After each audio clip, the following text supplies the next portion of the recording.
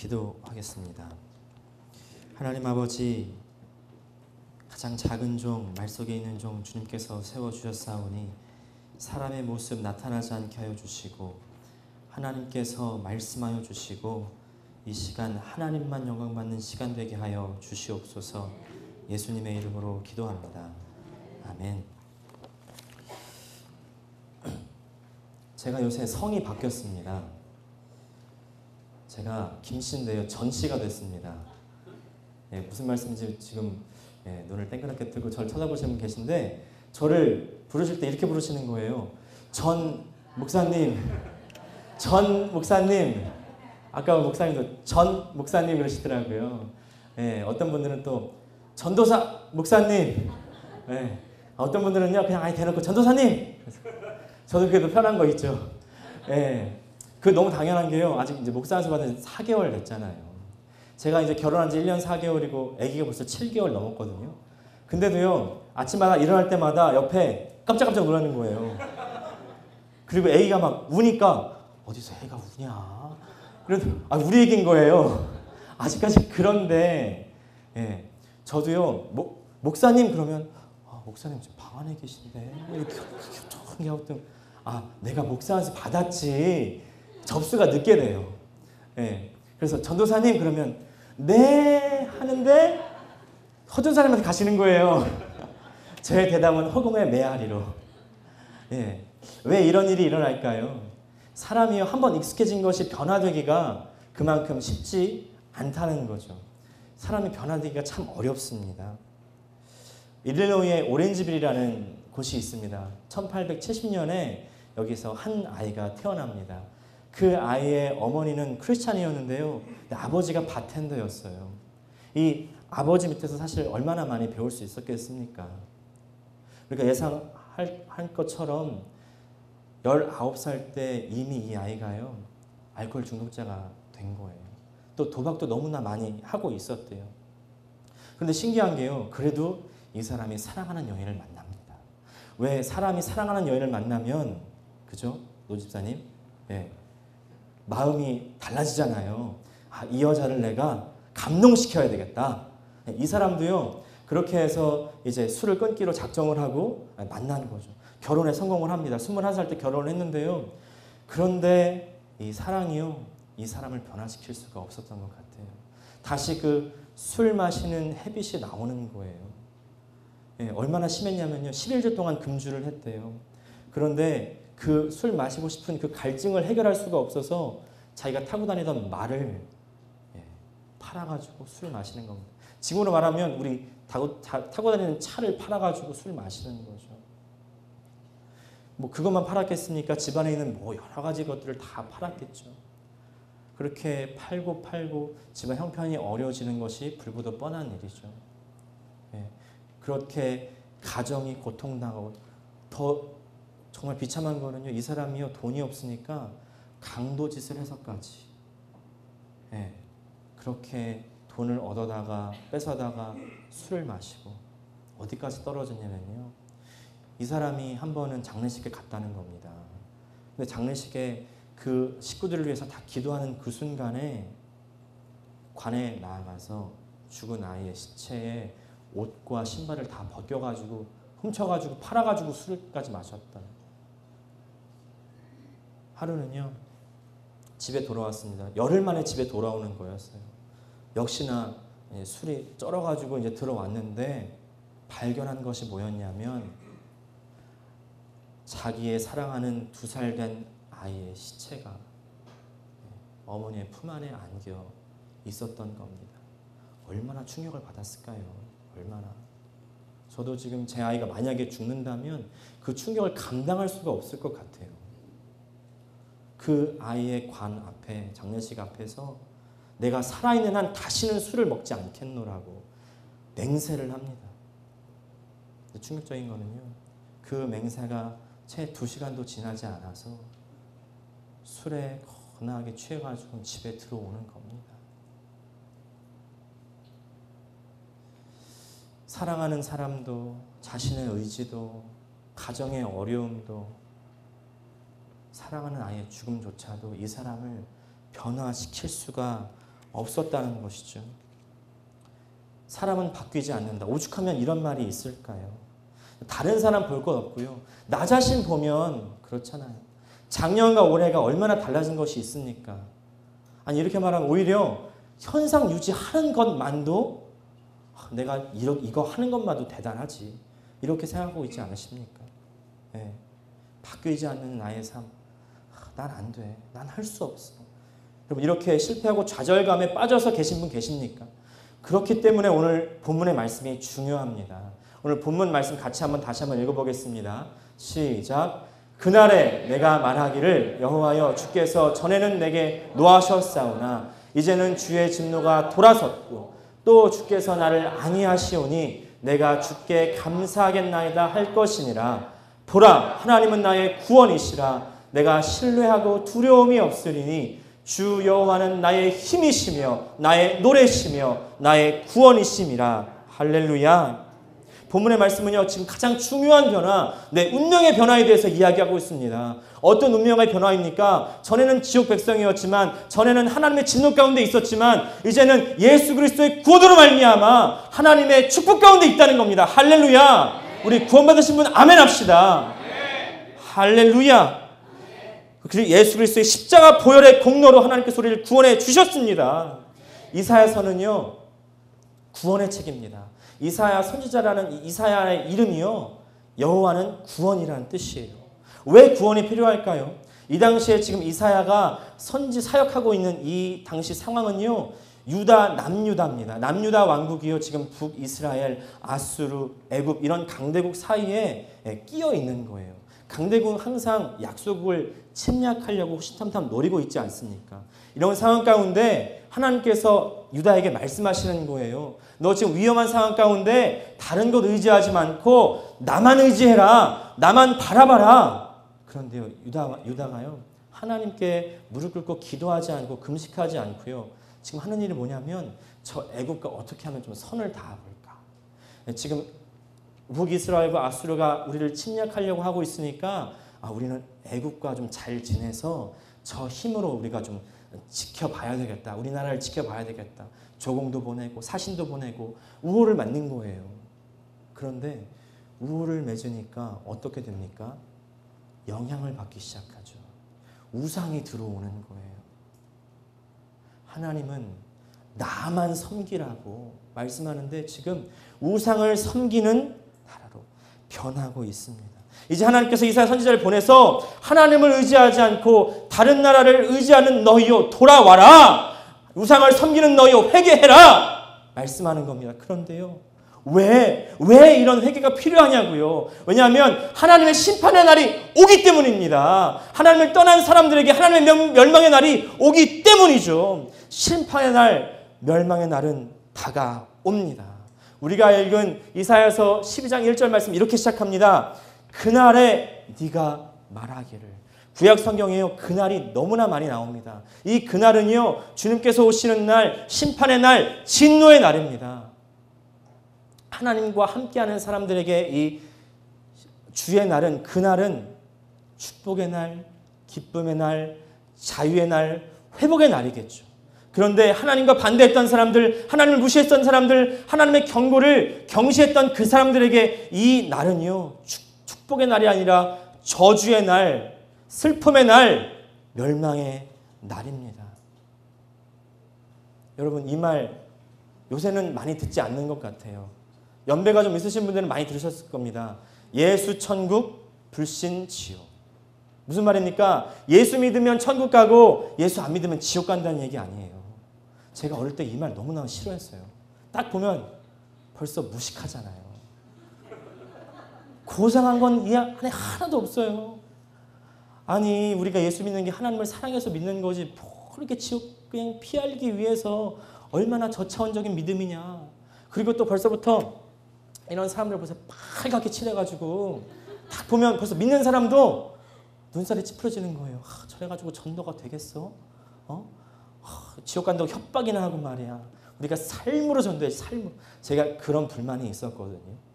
그런데 지금 보십시오. 강단에요. 지옥 이야기가 사라졌습니다. 심판 이야기가 사라졌습니다. 회개하라는 이야기가요. 더 이상 들려오지가 않아요. 그런데 성경은요. 성경은 지옥에 대해서 정확하게 이야기하고 있습니다. 천국은 확실히 있다라는 책도 있는 것처럼 우리가 하나님도 계시고 천사도 있고 천국이 있다는 건 믿는데요. 사탄? 에이, 사탄이 있겠어. 마귀? 지옥? 믿지를 않아요. 지옥이 있는 게 두려운 것 뿐만이 아니라 믿지를 않습니다. 그런데요, 성경은 불과 유황이 타는 불못이 있다는 겁니다. 하나님 반대하는 그 사람들이 바로 그곳으로 간다는 겁니다. 심판을 받는다는 겁니다. 계시록 20장 15절 말씀입니다. 같이 읽겠습니다. 시작. 누구든지 생명책에 기록되지 않는 자는 불못에 던져지더라. 불못이 있고요. 지옥이 있습니다. 지옥이 있습니다. 우리가 반드시 알고 믿어야 하는 사실은요. 지옥은 반드시 있다는 겁니다. 사실 우리가 믿든지 믿지 않든지요. 심판이 반드시 임하고요. 우리가 기분이 좋든 나쁘든 그날은 반드시 임합니다. 여기 제가 질문 한 가지를 드리겠습니다. 여러분 그날 임할 심판이 두려우십니까? 이날 심판이 임하고 진노가 임하고 멸망이 임한다는데 우리 마음이 전혀 무섭지가 않은 거예요. 여러 가지 이유가 있겠습니다. 아직 긴가민가 하시는 분들도 있겠어요. 또 아, 마지막 날 언제 오겠어? 아직까지 난 이렇게 잘 먹고 잘 살고 있는데 걱정 없고 여러 가지 이유가 있겠지만요. 그 중에 가장 큰 이유 하나님이 무섭지가 않습니다. 하나님이 두렵지가 않아요. 우리 이렇게 말하죠. 하나님은 사랑이시니까 하나님 이해해 주실 거야. 하나님 오래 참으시니까 참아 주시겠지. 나 세상에서 힘들고 어려웠으니까 나 위로해 주시겠지. 나 격려 받아야 돼. 나 용서해 주시겠지. 아, 상처받은 내 마음 하나님 알아주시겠지.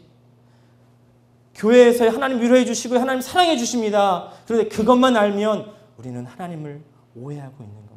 성경에서 말하는 하나님은요, 무서운 하나님이세요. 심판의 하나님이세요. 진노의 하나님이세요. 하나님 심판하시는 하나님입니다. 하나님께서요, 지금 마음만 먹으면 당장 온 세계를 다 쓸어버릴 수 있는 능력의 하나님에서 믿으시기를 바랍니다. 그런데 하나님께서 아무리 경고를 줘도요, 그 경고가 먹히지를 않는 겁니다. 지금 유다 백성들에게는요 이사야 선지자가 계속 경고하고 있습니다. 네가 애굽을 의지하면 너 망해. 그러니까 돌아와 회개해 우상을 버려. 그런데요 지금 유다 백성의 그 마음 가운데는요 그 설교가 전혀 들리지 않고요. 지금 당장 아수르가 무서운 거예요. 지금 당장 북이스라엘이 무서운 거예요. 그 유다의 모습이 혹시 우리의 모습은 아닙니까? 내가 처한 상황, 내가 처한 환경, 그것이 너무나 두렵고 무섭습니다. 그런데 하나님 말씀은요, 무섭지가 않아요. 하나님 멀고 먼 당신입니다.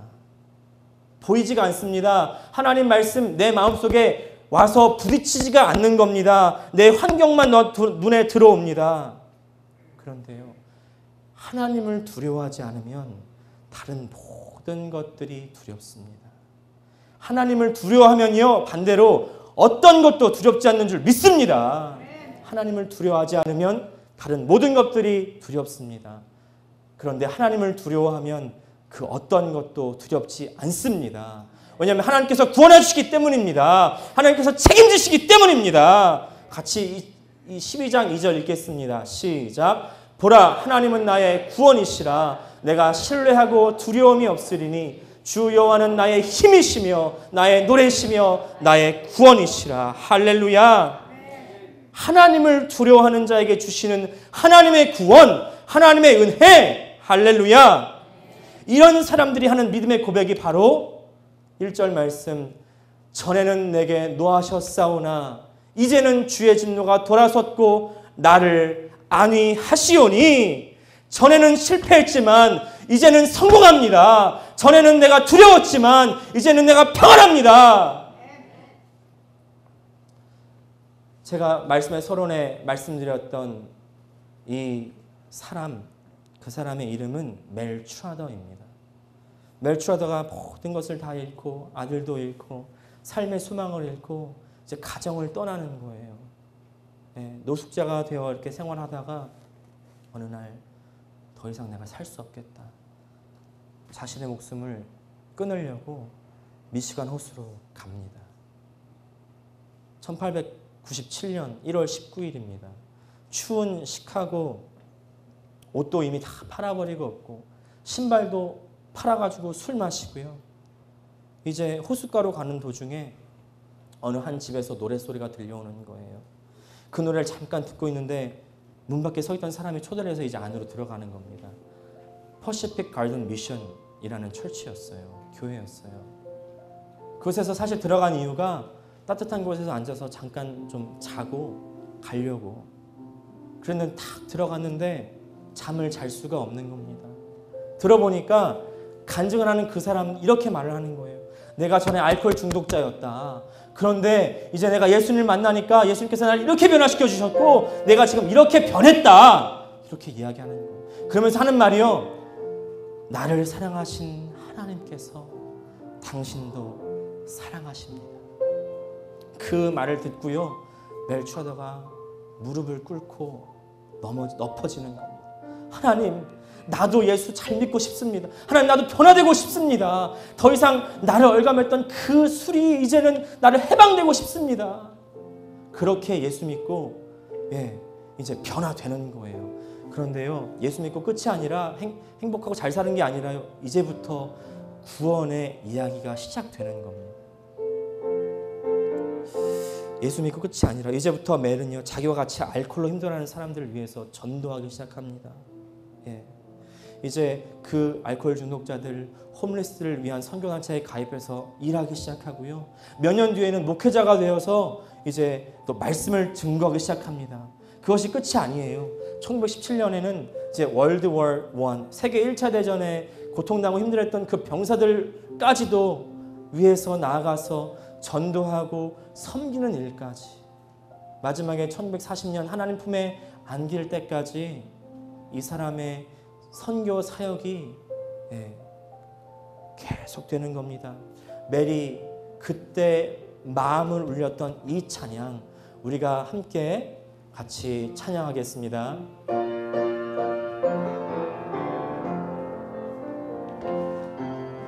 물 위에 생명줄 던지어라 누가 저 영체를 구원하랴. 우리의 가까운 형제이니 이 생명줄 그 누가 던지려나? 생명줄 던져 생명줄 던져 생명줄 던져. 물속에 빠져간다. 아, 생명줄 던져 생명줄 던져. 지금 곧 건지. 생명줄 던져 생명줄 던져. 생명줄 던져 생명줄 던져. 물속에 빠져간다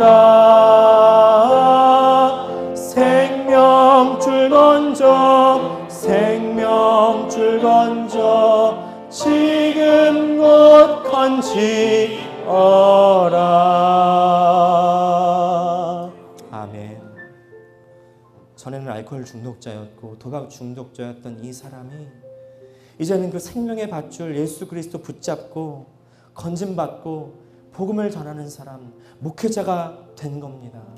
전에는 아무도 바꿀 수 없었던 이 구제불능의 사람이요. 이제는 모든 사람이 우러러보는 다른 사람들이 닮고 싶어하는 다른 사람들을 변화시키는 하나님의 사람이 되었습니다. 여러분 이것이 하나님의 능력입니다. 전에는 하지만 이제는 이것이 하나님의 구원을 체험한 사람들 바로 우리들의 고백인 줄 믿습니다. 전에는 지옥 백성이었지만 지금은 천국 백성입니다. 전에는 어둠 속에 살았지만 지금은 빛 가운데 있습니다. 전에는 세상 방법대로 살았지만 이제 하나님 방법대로 살겠습니다. 전에는 불안했고 무서웠지만 세상이 무서웠고 사람이 무서웠고 내 문제가 무서웠지만 이제 하나님께서 나에게 평안을 주십니다. 내가 이제 할 수 있습니다. 내 안에 담대함이 있습니다. 할렐루야. 바로 이것이 하나님을 경외하는 사람들에게 주시는 변화인 줄 믿습니다. 평안입니다. 안식입니다. 우리 자신 있게 선포하시기를 바랍니다. 이 절 다시 한번 읽겠습니다. 보라 하나님은 나의 구원이시라. 내가 신뢰하고 두려움이 없으리니 주 여호와는 나의 힘이시며 나의 노래시며 나의 구원이심이라. 할렐루야. 하나님의 심판의 날은 반드시 옵니다. 하나님을 무서워하십시오. 경외하십시오. 그러면 하나님께서 구원하시고 변화시켜 주십니다 전에는 할 수 없었지만 전에는 두려웠지만 이제는 평안합니다 이제 할 수 있습니다 고백하며 승리하는 우리가 되시기를 축원합니다. 기도하시겠습니다.